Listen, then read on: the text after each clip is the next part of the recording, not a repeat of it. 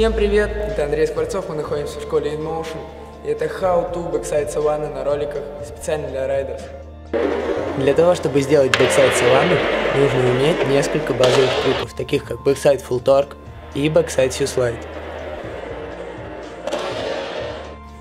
При выполнении этого трюка нога, которая находится ближе к фигуре, ставится положение backside view slide, вторая нога забрасывается за нее, таким образом ноги получаются скрещенными, центр тяжести находится ровно посередине, колени должны быть максимально согнуты.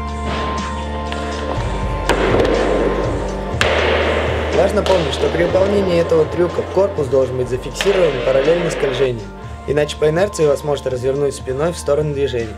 А также не менее важно, при сходе с любого трюка, максимально амортизировать на приземлении. Backside Savannah откроет перед вами новые, еще более сложные трюки.